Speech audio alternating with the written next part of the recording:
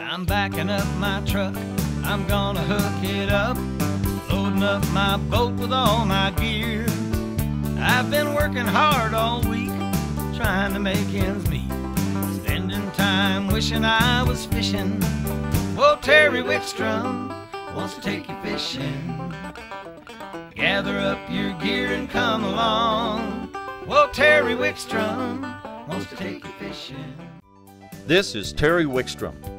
Join Karen Cullum, Greg Clajo, and me as we take you to some of our favorite fishing spots from Colorado to Minnesota, the Arctic Circle to Central America and beyond.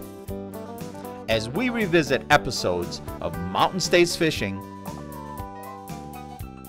and Angling Adventures Television on the best of fishing with Terry Wickstrom.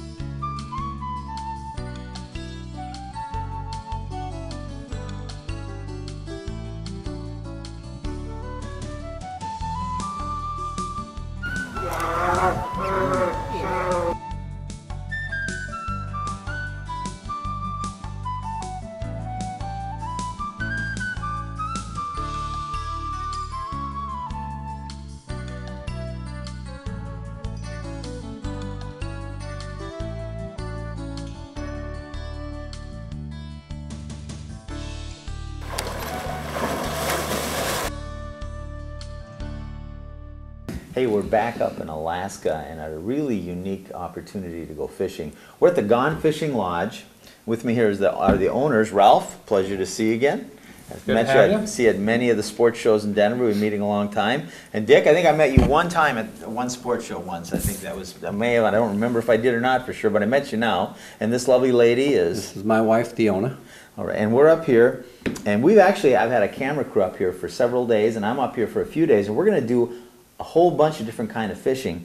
But today we're gonna concentrate, well, you, you guys offer just tremendous fishing opportunities and a great facility here, and we're gonna bring you back and talk about that.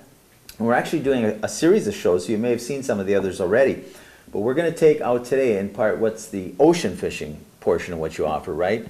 Okay. And that's, tell us a little bit about what that entails. Well, we've got two different places that we uh, fish for halibut, one in the Cook Inlet and one out of Seward. Um, and, and when we go to Seward, we do a lot of combination trips with silver salmon, ling cod.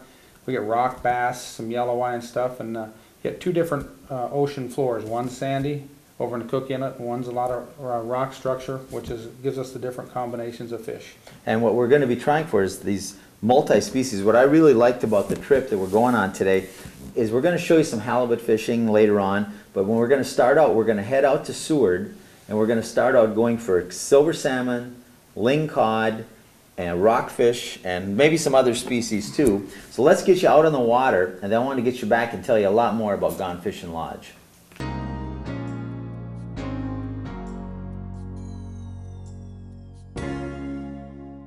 All right, rock. Well, that's a I'll move back out of your way here. All right. that's a good keeper. We'll keep them big ones, huh? Woo! Yeah. Little slack. There you go. Fish on. Fish on. All right. Other fish on right here. That's our now rockfish is what? Oh, I got it. what is that? A sea, sea bass? Fish on. We got rockfish. I got a fish on. You like cleaning rockfish? Fish on. Fish on. Yeah, I got a rockfish too. Was there any limit? Woo. Take a line. Take a line, take a line. Boy, they're strong. Thank you, Mel. You know the nice. one? Yeah, yeah, we'll keep it. The, Give ni- us some line. huh? Give us some line. the nice thing about uh, being on these boats is you get well taken care of. You just do your fishing and reel them in. They take care of them, take them off the hook, rebait it, and that's what uh, makes life easy and good. Definitely. You don't have to have a lot of knowledge or skill, just know how to hang on and reel. One thing about these rock cod, they don't fight at all. They just, they just give up. Oh, that's a, Different uh, color one. What's, what's there's a beauty. What's that? Now, what's the re- why is that one a different? This is a non-pelagic rockfish. Oh yeah. Rockfish. There's two categories of rockfish out here. There's pelagic, which is the black rockfish we've been catching, and then there's non-pelagic. Most of the non-pelagic are bright and colorful like this, and uh, you can only keep one of these guys. Yes. By uh, By non-pelagic, what that means is that they They stay in one around. place, yeah, right. Yeah, they live on the same rock pile their whole life, and that's why you can only keep one. Because once you kill all the of that kind in one area, I can feel him. He's just he's kind of shaking. It's just What, kind of look at look at look at those. Huh? Yeah. one- One of the things when you uh, fish in the ocean, you just never know what you're gonna catch. Oh, So, exactly. It's just awesome. Mixed basket. Some interesting creatures. We better get that back in the Yeah. water, I he's suppose. a cool little guy. Man, that's a beauty there. Oh, Karen, I tell you what, I just, I said, Karen, you want to fish for a while? I'll take a break. And she catches, she catches rockfish, she catches pink salmon, and now she's got a beautiful silver salmon on. She's always been a show off. I hate to say this on camera, but seven years of filming in Alaska, and every year Karen has caught a bigger fish than me. All right, Karen, way to go. That's the neat thing about these trips out of places like Seward. We set this, you come up here with uh, Gone Fishing Lodge, and you uh, you get to do different things different days and every day just one day like today she's already caught three species of fish she's got some in the live well i mean and these aren't little fish folks these are nice fish they're big fish they're Yeah, you're getting him. He's, he's getting wore out. You got him.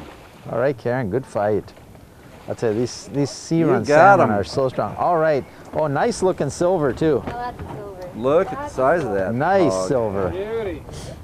Beautiful silver. We'll get this one up and she'll hold it up so we can take a look at it. Silver salmon, you know, Karen, you're kind of showing off here. We're out here.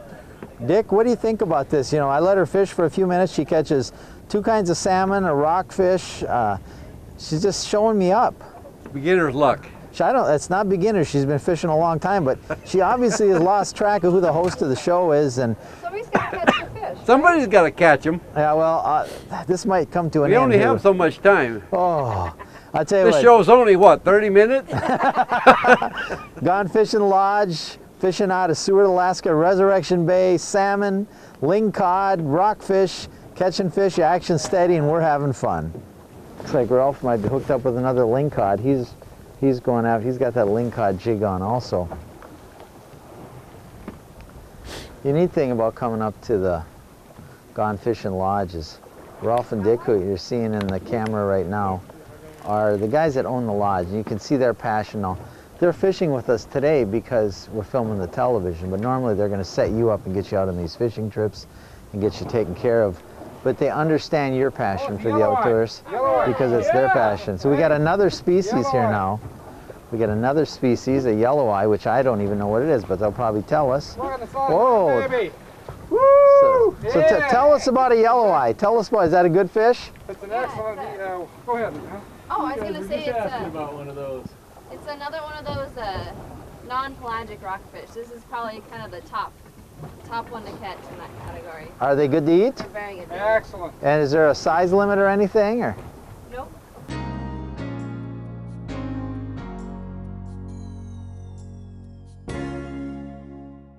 Hey, we're gonna get you. We'll get you back out in the water in just a minute, but I want to tell you a little bit about the place we're staying because it's just a tremendous, tremendous place to come and stay. Easy to get to and lots of amenities. Tell us a little bit now. People get here. What's the normal routine? What happens? They fly into Anchorage or?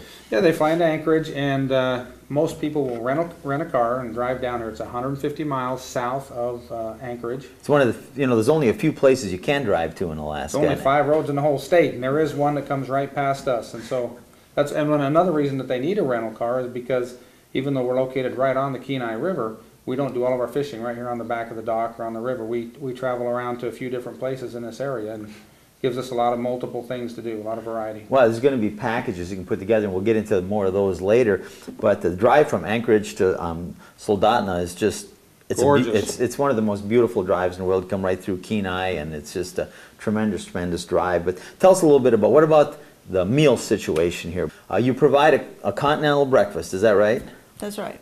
And you, you're the one that makes that breakfast go, is that? I do, and I set it up the night before, so it is ready no matter what time you get up in the morning to go fishing, And the coffee pot is on all the time? all the time. And you've got coffee pots in the rooms and things, too? Yes. Yes, we do. coffee pot, a refrigerator, a microwave, um, and then a group cooking area. You've got this huge commons area that's like, it's about a third of its dining area. Then there's a huge kitchen with multiple stoves that you can cook in. There's grocery stores right down the street And and restaurant and restaurants right down the streets.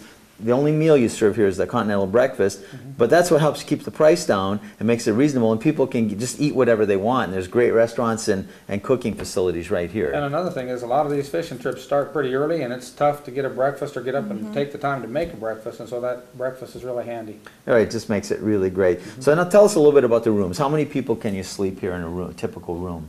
Well, some of our rooms sleep two, some sleep four, and some sleep six, so it doesn't make any difference the size of your group.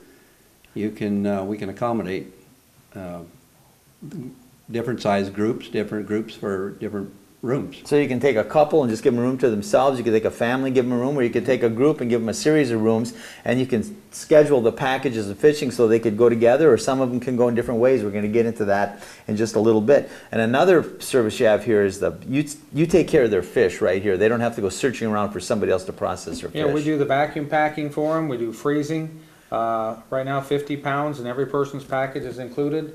And we also, uh, have their own, their shipping boxes that are airline approved to take home also. I tell you, we want to tell you more about the other fishing that's available up here a little later on. But right now, we're going to get you out in the water, but we're not going back um, down to Seward yet. My crew came out a few days ahead of me because I uh, didn't have, they had more time to spend here than I did, which really wasn't fair. But they went out and did a little halibut fishing. We want to show you a little bit of that. Then we're going to bring you back, tell you about the other fishing packages, and we'll get you back out to Seward and some more silver and lingcod fishing. Jeez. So I guess the bait does matter, huh? Sometimes it does, yeah.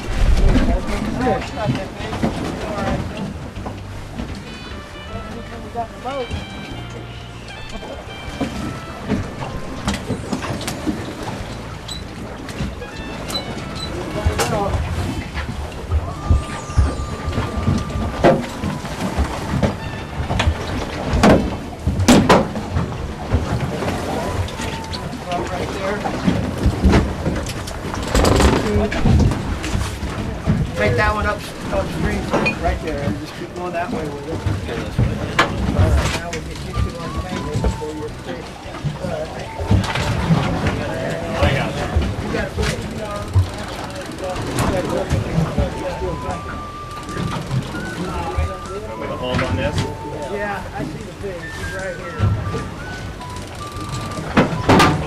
A long ways up from the bottom, man. That's good fish. We'll take that guy in a minute. Hey, we'll get you back out on the water again here in just a minute. But if you do decide to come up to Gone Fishing Lodge, one of the things that makes it so great up here, guys, is that there's you offer so such variety of fishing. It's just tremendous. You know, a lot of times you go to one lodge and you'll just be fishing king salmon all day long, or or silver salmon the whole time you're there. You're a remote lodge, and you offer just everything from the ocean fishing for halibut and silvers and lingcod. Uh, you've got flyouts, which are just tremendous. You've got how many different types of flyouts do you do? We can probably do seven or eight different trips for king salmon, red salmon, silver salmon, uh, at various different times of the year. It's always good fishing, it's just always changing. And some people love to just get in a float plane and take a trip, don't you think, Dick? I mean, it's part of their package, just the experience of it. Well, the float plane trip is probably the, one of the highlight trips that we have, that we offer, and there's several different places that we go with the float planes too. And in addition to that, you've got the Kenai River right out the back door here, where somebody, one of the other guests was telling me they came up here before and they were catching red salmon one right after another by wading right out below the lodge here. And we have a couple different drifts you can do on the Kenai. There's the trout drift on the upper Kenai, uh-huh. and then you have salmon drifts on the lower Kenai, and also some trout down there. So you really, is it standard packages, custom packages? What's the best way to come? Well, um, we put out quite a few different packages. We have, we list on our, uh, our package sheet, we have fifteen packages, five in each month, June, July, and August. And, uh, you know, basically, when people come up, if they've never been here before, we like to kind of give them a variety of, of things to do, maybe a river trip, a halibut trip, um, a fly-out trip, and, and one or two of the other trips that we have, and, and give them a sample of everything this, uh, this place has to offer. And then when they come back, you can customize a trip because they'll kind of know what you have, put one together. In addition, if everybody in your group doesn't fish, there's other things like you've got bear trips and sightseeing trips. Yeah, our bear uh, viewing trip is probably the number one trip in, in Alaska. This is, uh, we can get very, we get very close, sometimes a little close for comfort, but it's our number one trip that we do. I tell you what, we better get you back in the water and show you some more fishing, but uh, you just get it. We'll bring you back at the end of the show and tell you just a little bit more about the lodge.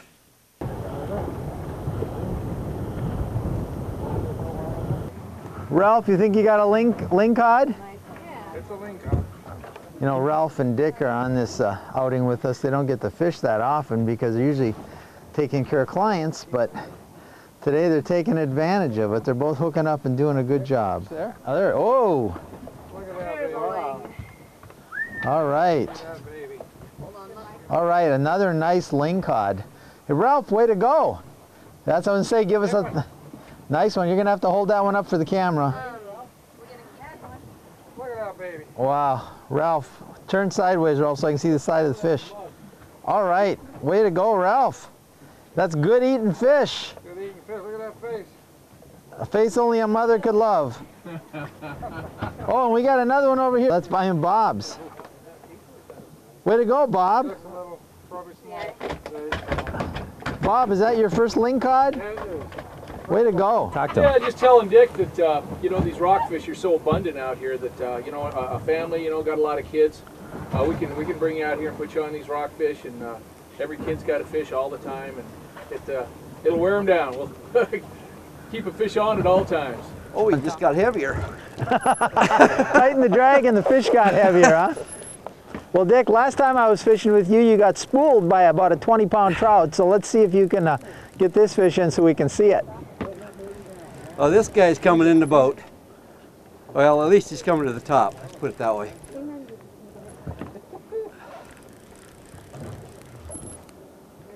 Here it comes. Yeah, it's another ling.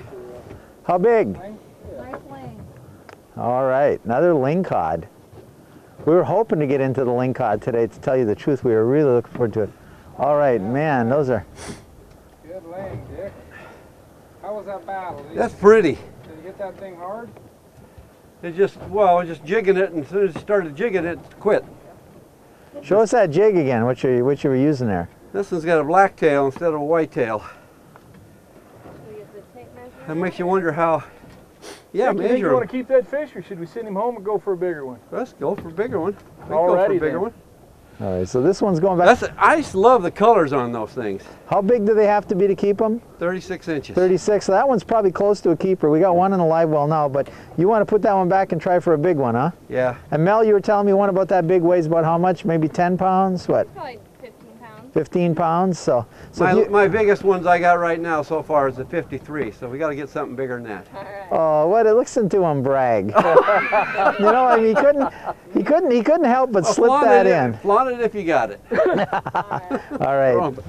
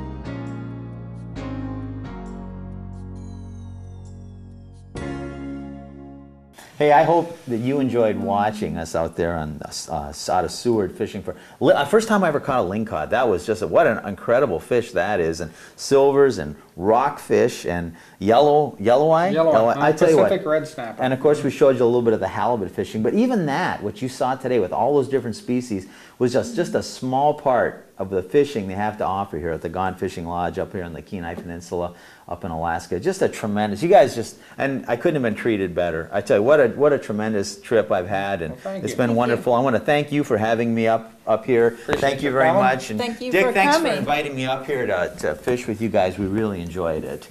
Well, we designed this packages and the fishing trips that we do because that's what we like to do. And so we would like to invite everybody out there that's watching right now to come up and join us, and uh, we know you're going to love it. You know, and I, I can't say more than in fact, are not only good fishing, but good people. Come up, we'll put their in- contact information up here right now, and then we'll put it up again in the credits. So run and get a pencil and paper right now. Come up here, give them a try. Whatever type of fishing there's available up here that you like to do, they're going to take care of you. And join us next week for another angling adventure.